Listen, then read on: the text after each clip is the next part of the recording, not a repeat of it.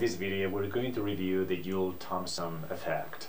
Uh, this video follows from a prior one in which we have seen how the enthalpy depends on temperature and pressure.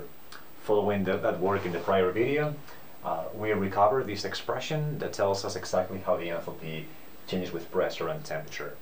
Now in that work we have seen that there's a coefficient that we have introduced which is called the Joule-Thomson coefficient and uh, the explanation of that coefficient is as follows.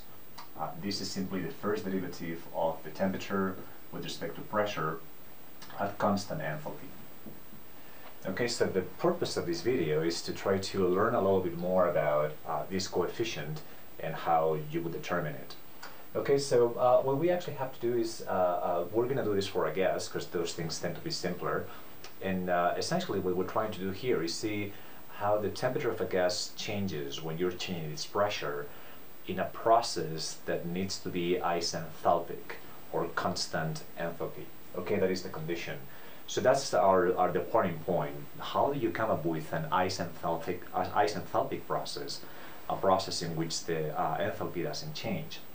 All right, to illustrate that, uh, we have here a diagram uh, uh, with an isenthalpic, isenthalpic process right? So the way to understand this is you have a gas uh, or a container that has two compartments, the left one and the right one. And those compartments are separated by a porous membrane uh, that allows for the passage of gas, but quite slowly. The pores are, are quite small, and that means that the gas molecules need to, uh, as they, they flow through those pores, they're getting in contact with each other and interacting with each other. Okay, but in essence, uh, initially there's nothing in the right compartment, the volume is zero, and all the gas is in the left compartment. Uh, and then you're going to compress that gas, uh, constant pressure, P1, and eventually that gas flows through the membrane and it ends up in the right compartment, uh, which will have a different set of conditions, P2, V2, T2.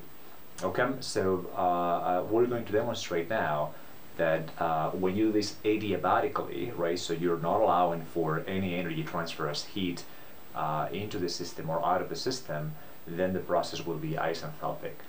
To demonstrate that, we first can write here what uh, the change in, in, internal energy would be for that process. Again, uh, the first law tells you that this is uh, heat and work, but of course if we're doing this adiabatically, what that means is that uh, that uh, energy transfer as heat is zero. Okay, so you only have a work component.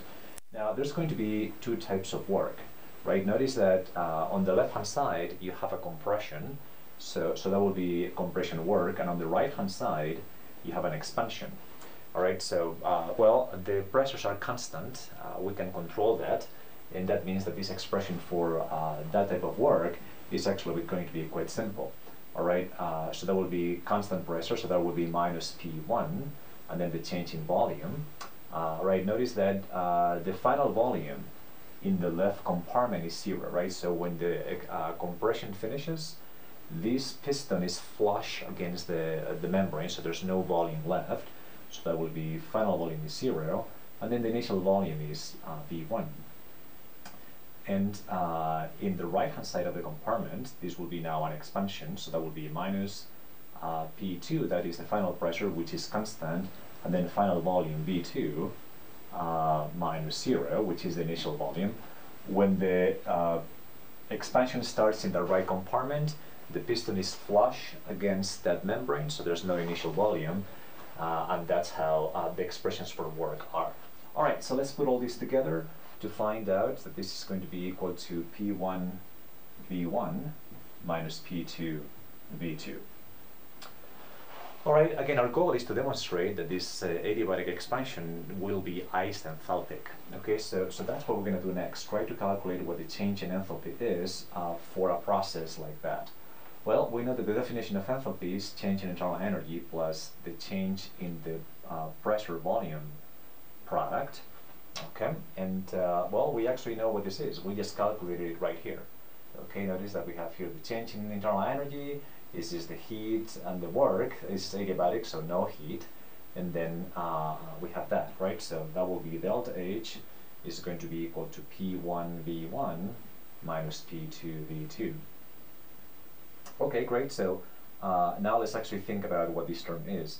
This is just um, the change in the product of pressure and volume. So it would be the product of the pressure and volume in the final state minus the product of the uh, uh, pressure and volume in initial state. So that is going to be P2 V2 minus P1 V1. Okay, and you can clearly see that this is indeed an isenthalpic process. The change in enthalpy is zero.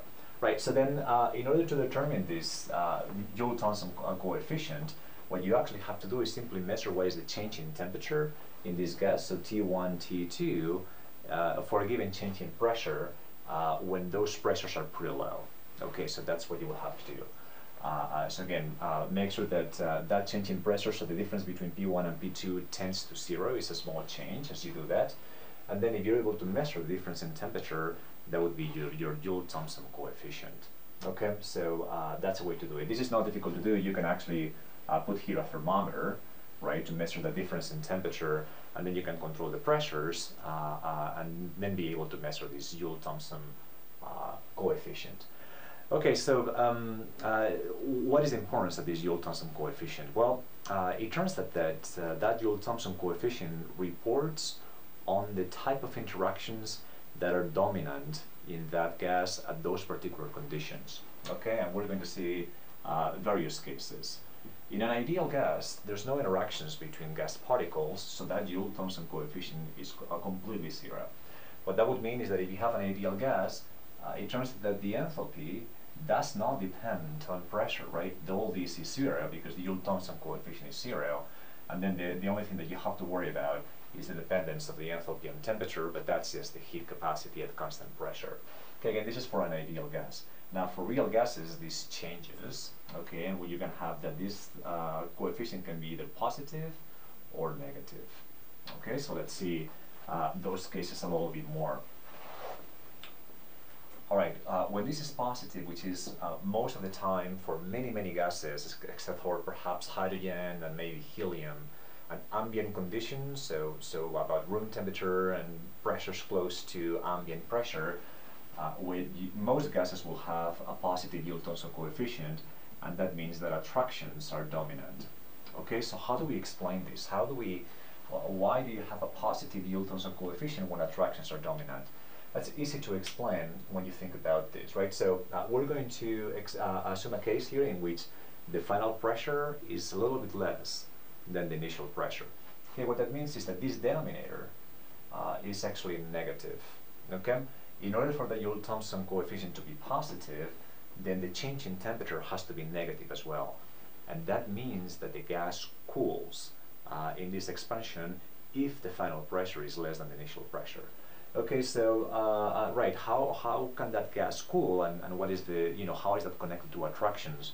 Yeah, all right. So the idea here is that when you're pushing that gas through the pores of that membrane, those gas molecules are actually or particles are getting really close to each other, so they they can really interact. Now, if attractions are dominant as those molecules are flowing through the membrane, then uh, uh, when the gas starts to expand on the right hand side of the container, what happens is that well those molecules start to uh, separate from each other, but the attractions are holding them back, right? So they won't expand as much as, as they would otherwise. Or another way to see this is that, well, uh, uh, you know, those, those particles would separate with some kinetic energy, but if there's an attraction that is holding back on those molecules, then the kinetic energy is lower than it would be, and that means that that gas is being cooled down. Okay, so, so that makes perfect sense out here. As a matter of fact, Joule-Thomson, uh, this Joule-Thomson effect uh, can be explained every time, or can you, you can see it every time that you pump a tire, an, a, a flat tire, with a CO2 cartridge, right? When you have a CO2 cartridge, that's CO2 at really high pressure, and you're actually passing it through the valve of the tire into a situation of low pressure, right? And, and it's very easy to see that the gas cools down. Sometimes you can actually even see uh, uh, water from the ambient uh, environment condensing around the valve from the rim of that tire. Uh, again, depending on, on uh, relative humidity and things like that. But that gas cool, cooling, uh, when you're pumping tires with CO2 cartridges, it's actually really easy to see. You can see in real life. This is a very common occurrence. Now, conversely, if this Joule-Thomson coefficient is negative, then that would mean that repulsions are dominant, right? And the idea here is that if repulsions are dominant, well, when the gas is getting, uh, those gas particles are getting really close to each other, uh, if the repulsions are dominant, that means that as they make it through the right-hand side of that uh, system, right, they're going to separate with a larger kinetic energy than uh, if those interactions were not present. And, and what that means is that, well, that, that increased kinetic energy uh, from the repulsions, that's, that's a cooling uh, of that gas, right? That gas is traveling at higher speeds than it would otherwise would. Okay, so that's, uh, that's how these limits for the science of the Joule-Thomson coefficient. Okay, so in this video we have uh, studied what the Joule-Thomson uh, effect is by showing how you can do an isenthalpic process and then examining the limits uh, in the science of that Joule-Thomson coefficient.